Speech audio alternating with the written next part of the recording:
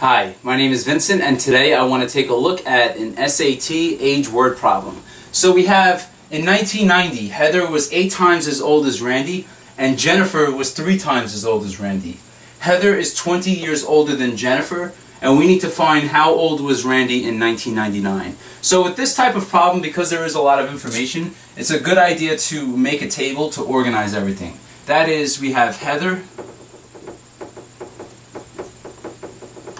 we have Randy,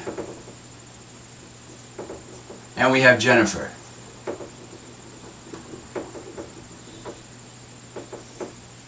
And the first year mentioned in this problem is 1990, so we'll make a row and label it 1990.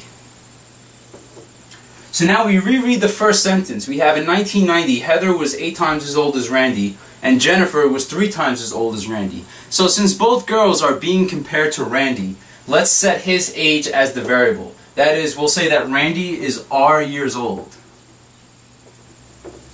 So now we read, we have Heather was eight times as old as Randy. So if Randy is R years old and Heather is eight times as old as Randy, then we could set her age equal to eight times R.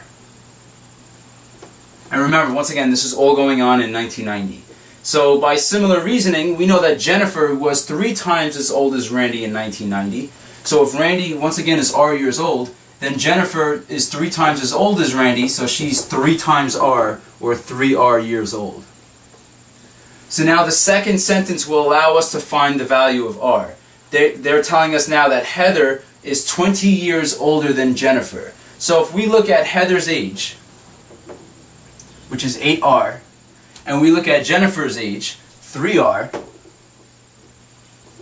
we're told that Heather is 20 years older than Jennifer. So if we add 20 years to Jennifer's age, then those ages would match. So now we could set them equal. So just to recap, since Heather is 20 years older than Jennifer, if we add 20 to Jennifer's age, then that quantity would equal Heather's age 8R. So now all we need to do is solve for R. So we're going to subtract 3R from both sides.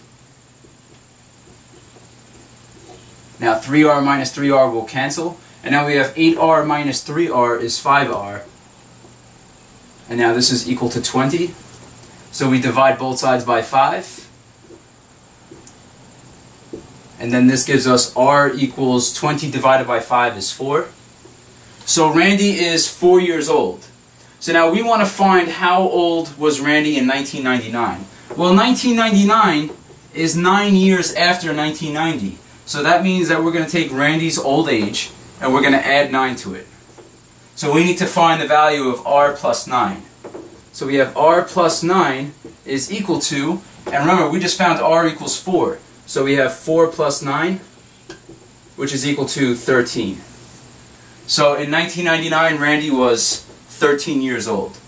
Okay, well this is going to conclude this SAT age word problem. Thank you all for watching and I hope that this was helpful.